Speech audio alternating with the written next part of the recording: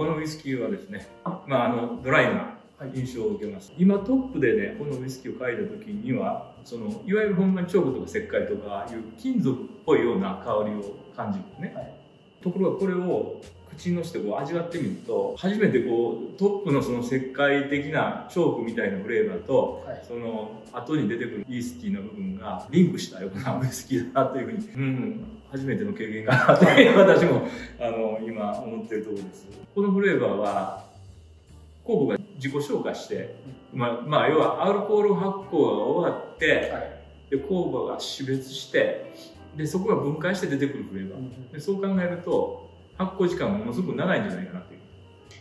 うん。すごくもろみを長いこと置いてる、置いて、で、そうするとトップの、あの、軽やかな香りが飛んじゃって、で、後ろのそういうところだけがこう出来上がってきて、それを蒸留するとこういうふうになる。